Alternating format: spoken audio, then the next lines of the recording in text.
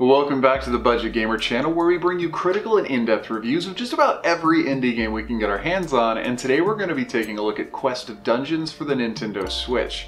And if you're like one of so many gamers out there that's probably never even heard of this title, but you have heard of games like Cadence of Hyrule, or maybe you've seen our review for Crypt of the Necrodancer, you might already have a pretty good idea of how this game works.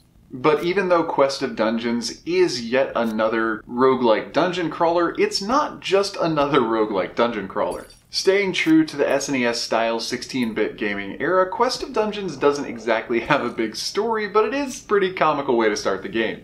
More or less, you'll choose one of four different types of heroes, whether reliant on magic or brute force, close or ranged combat. And after choosing one of your heroes, you'll be given the backstory that some evil overlord has basically banished light from the world and imprisoned it in the Lamp of Light. And this lamp has been hidden away at the bottom floor of a dungeon that these four heroes have taken upon themselves to go and get it back. However, just before assaulting the dungeon, you've been pretty much outvoted by the rest of your party and told that you'll be going in alone. And it's pretty much after this judicious round of not it that you'll be diving into your first campaign in your randomly generated dungeon. As is to be expected by the roguelike and dungeon crawler genres, though, every iteration of the game will be randomly generated with randomly placed mobs, chests, quests, and even bosses, and every death in the game does mean you'll be starting completely over from scratch. But as I mentioned earlier, though some players may not have ever experienced a universal turn-based dynamic, if you are familiar with games like Cadence of Hyrule or Crypt of the Necrodancer, the method by which you'll be expected to engage with enemy combat and navigate your way through this dungeon is surprisingly simple, but also surprisingly engaging. More or less, every single step taken in the game, every item used, every spell cast, and every chest opened equals one turn. But this doesn't just mean one turn for the player, it's basically one turn for everything in the game. And this basically means that every step you take getting closer and closer to your goal means it's another step every enemy in the game is taking getting closer and closer to you.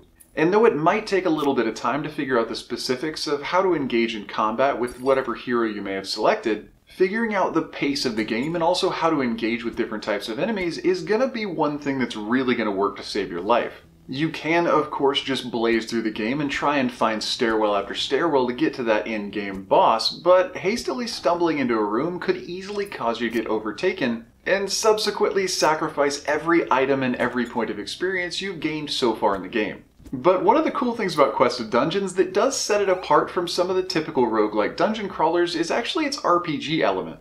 In addition to its strategic movement systems, Quest of Dungeons does actually provide the player with an RPG-style leveling system as well as an expansive item inventory. And whether it's from a lucky random drop from a mob or a boss, or from an item chest or even purchased from the shop, you'll be able to outfit your character with multiple pieces of equipment to really put you on that cutting edge to help you get further and further in the game. But not only is there a leveling system and usable items and equipment to consider, but you can also pick up new skills and abilities and occasionally even find random quests. These quests will give you a bit of a description about an enemy and a bit of a description about its location, and give you an opportunity to challenge a new semi-randomized mid-boss. And this actually does bring us to one of the finer points of the RPG system, and that's the fact that you can actually grind for level.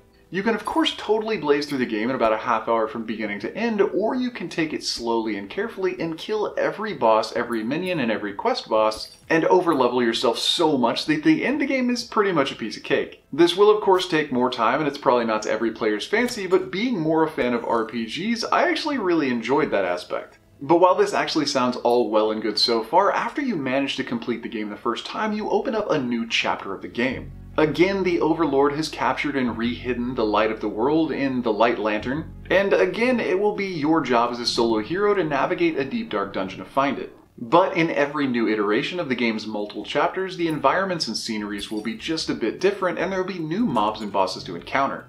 Additionally, after beating the game on your first pass, you will unlock a new playable character, and I thought it was a pretty great surprise, so I'm not going to tell you who it is.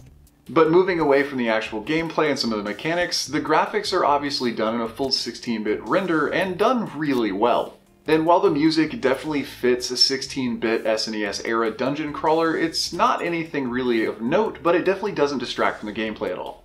Overall though, I'd really have to say that I completely enjoyed my time with Quest of Dungeons, and I can totally see why the fans who suggested I review this game told me that they have hundreds of hours dumped into it. It's a game that you can sit down with for 5 or 10 minutes, or you could play it for hours and hours on end. Every single game is different, not only because of the roguelike random generation element, but also because you can play the game in a myriad of different ways. You can choose to take quests or not take quests. You can choose to take warp gates and run away from bosses, or you can choose to make yourself into an OP tank and kill everything that gets in your way. You can choose to glide by by the skin of your teeth, or you can choose to power level and dominate everything. And with chapter after chapter opening up and creating more and more intense challenges, there really is an incredible amount of replayability, not even noting the online leaderboards. So regardless of if you're a fan of roguelike games with their random generation or not, if you're a fan of dungeon crawlers, especially due to that RPG element, this is probably a game you're going to want to keep on your radar. It's definitely worth the price, especially the sale price, and in all honesty, it's yet another one of those eShop gems that really didn't get enough media attention. But anyway, that does about wrap up the review of Quest of Dungeons now on the Nintendo Switch. So if you enjoyed the review, and especially if you found it helpful, feel free to throw me a like or a comment, to show your support. And don't forget to click that little bell icon when you subscribe to stay updated with the latest content. There are literally new and unique indies coming out every single day, so there's always going to be some new game to find out about right here. But if you want to get more involved with the channel, just see what I'm up to, or maybe even talk to some of your fellow gamers out there, you can click any of the links in the bottom right corner of our channel's banner for Instagram, Twitter, Discord, or even become a Patreon supporter. But anyway, this has been Budget Gamers. As always, thanks for watching.